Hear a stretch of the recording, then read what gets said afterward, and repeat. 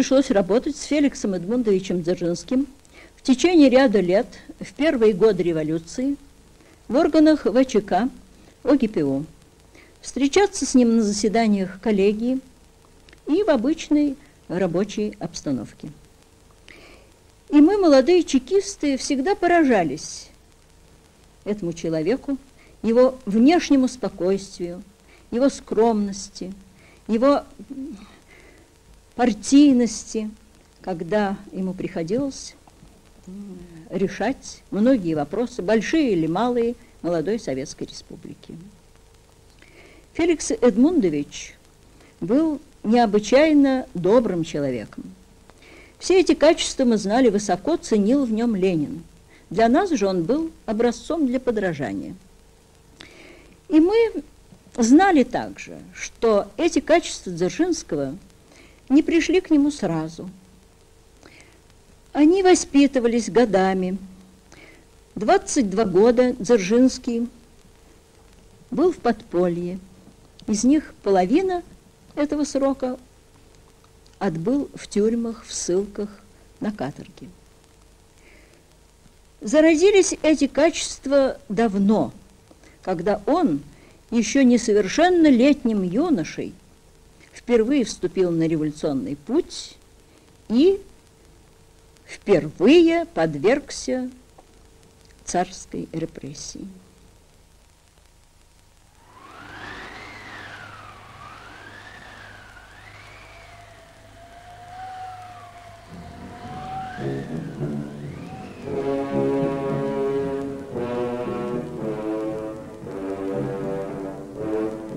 Министерство внутренних дел, Департамент полиции. На основании высочайшего повеления, последовавшего 12 мая 1898 года, дворянин Феликс Эдмундович Дзержинский подлежит за государственные преступления высылки в Вятскую губернию под гласный надзор полиции на три года. Помощник шефа жандармов генерал-лейтенант Фонарейкин.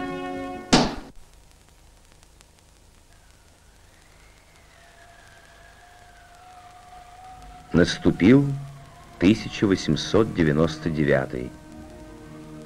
Началась новая жизнь. Вдали от родины, от друзей, от близких. Сюда, в домик на краю деревни, все чаще стали заглядывать крестьяне. Здесь он читал, занимался, мечтал.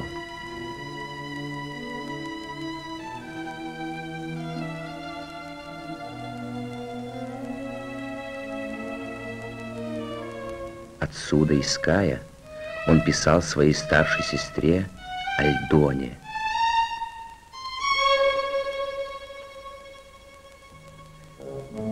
До сих пор я жил в городе Налинске, не так отдаленном от остального мира. Но губернатор перевел меня на 400 верст севернее, в леса и болота. Село Кайгородское лежит на берегу Камы – Морозы доходят до 40 градусов. Белого хлеба здесь нет совсем. Мясо осеннее, замороженное. Сахар, чай, табак, спички, мука, крупа – все дорого. Сам себе готовлю. Купил самовар.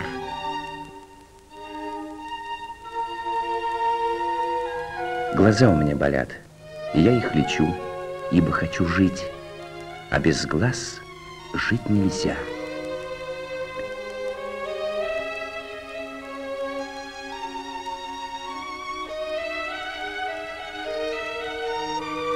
Дорогая Альдона, пусть эта фотографическая карточка напомнит тебе время, проведенное нами в нашем дорогом Вильно –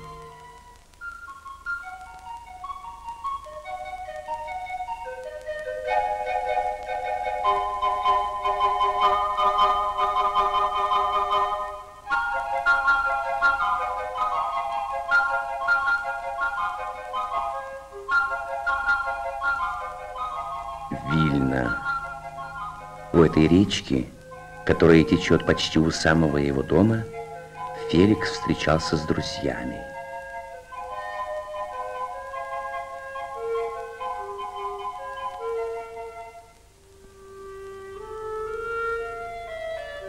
Гимназия. Здесь еще больше полюбил он поэзию Мицкевича. Бестужев, который как друг мне протягивал руку, тот воин, которому жребий поэта дарован, В сибирский рудник, обреченный на вечную муку, С поляками вместе он сослан и к тачке прикован.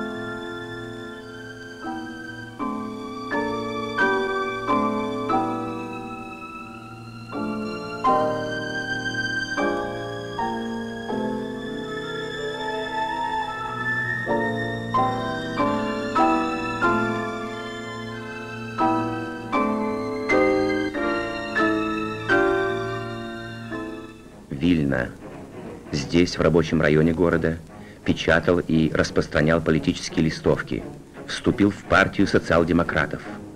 Выступая на митинге, он говорил, рабочие лишь силой собственных рук могут заставить эксплуататоров удовлетворить их нужды. Они знают, что без единства и солидарности ничего не получится –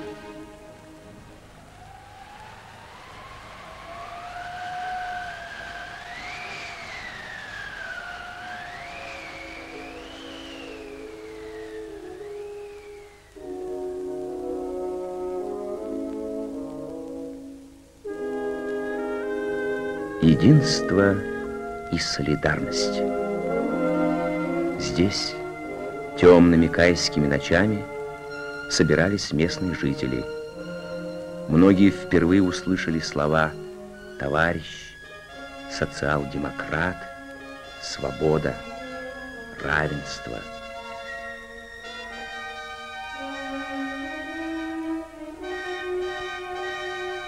Многие из них – впервые узнали об этих книгах.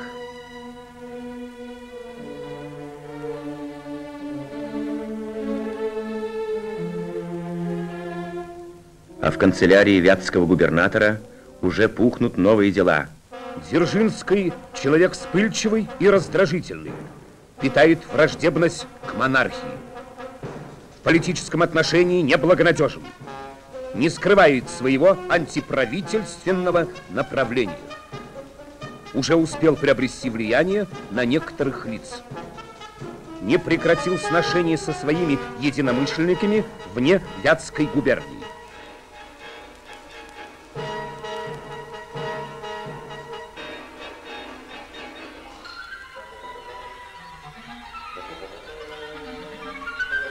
Опасен, неблагонадежен. Опасен, неблагонадежен. Опасен, неблагонадежен.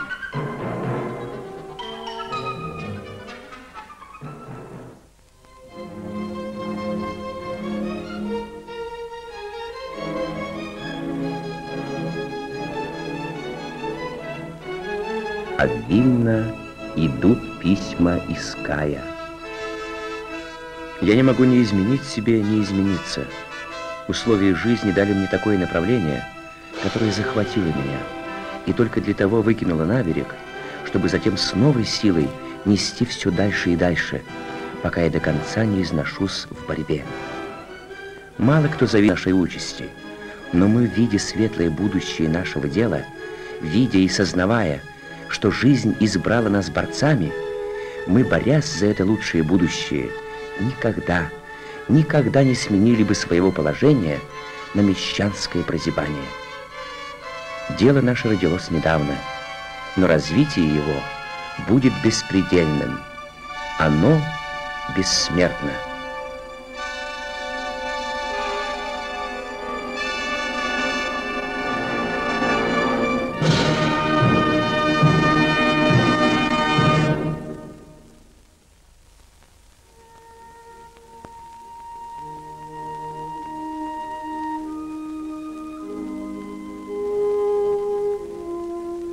Шел 1899. Феликсу Дзержинскому был 21 год. Он болел трахомой, но много читал. Страдал от порока сердца, но ходил в соседние и дальние деревни к рыбакам. Встречаясь с крестьянами, беседовал о жизни, рассказывал о революционной борьбе, о грядущей революции.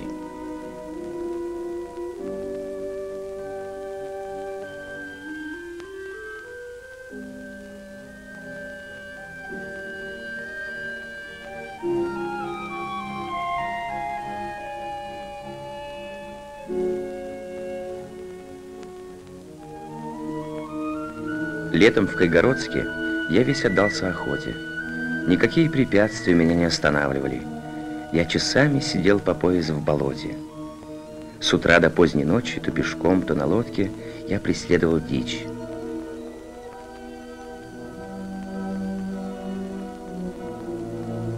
Когда вечерами по грудь в воде мы ловили рыбу, комары и мошка точно иголками кололи мне лицо и руки. Ночью, когда я ночевал над рекой, дым разъедал глаза.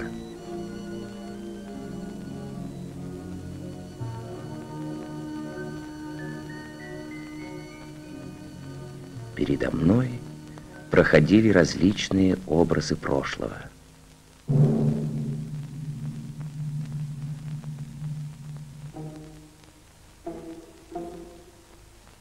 Это произошло в Каунасе 17 июля 1897 года в 5 часов вечера у военного собора.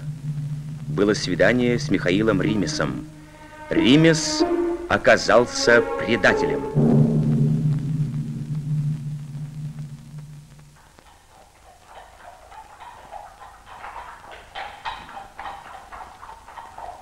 Задержать дворянина Виленской губернии Феликса Эдмундовича Дзержинского.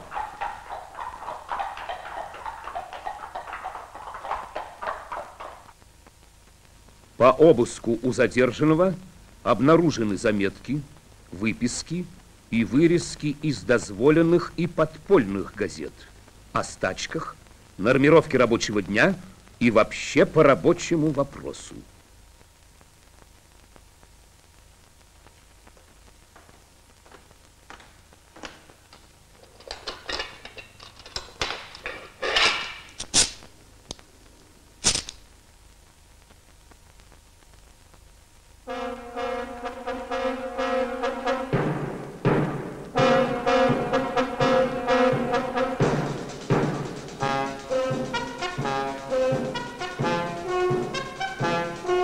Дознанием установлено, что Дзержинский знакомился и входил в сношение с рабочими различных фабрик и сапожных мастерских, раздавал им для чтения книги, а затем начал подговаривать к устройству стачек на фабриках и ремесленных заведениях с целью заставить хозяев увеличить заработную плату и уменьшить число рабочих часов.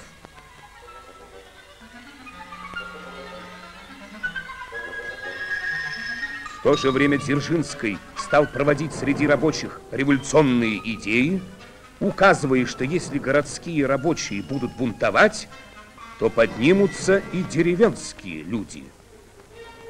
И тогда можно будет легко порешить с правительством и основать республику.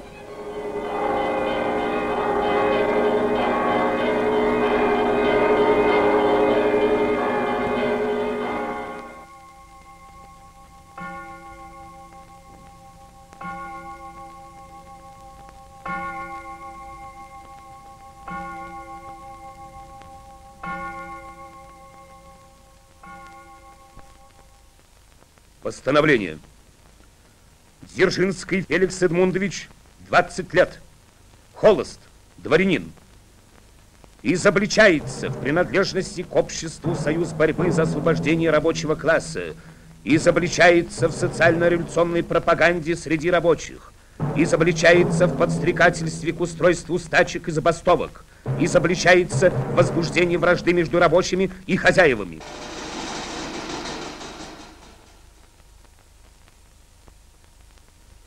Принимая во внимание явное упорство Дзержинского, полагаю применить к нему наказание самой высшей меры.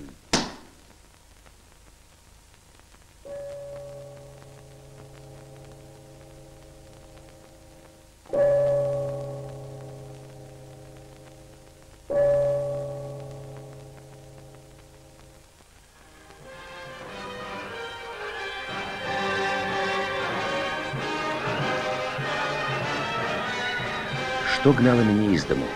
Тоска по родине, по той, которая так врезалась в мою душу, что ничто не может вырвать, разве с самим сердцем.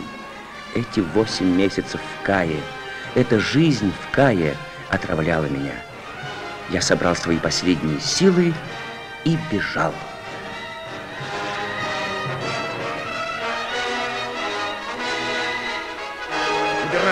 Виленской, Казанской, Вологодской, Костромской, Пермской, Уфимской губернии.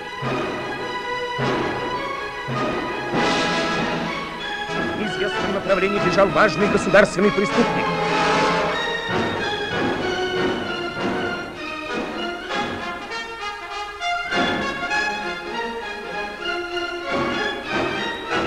Пример.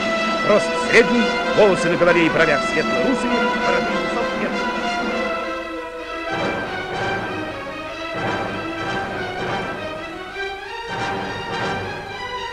При задержании обыскать, арестовать и припроводить мое Вятского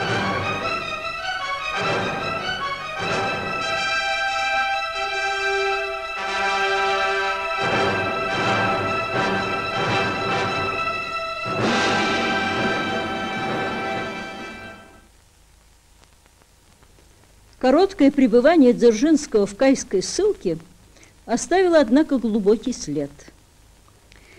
Достаточно сказать, что в 1906 году там возникло крестьянское восстание, которое получило в истории название Кайская республика.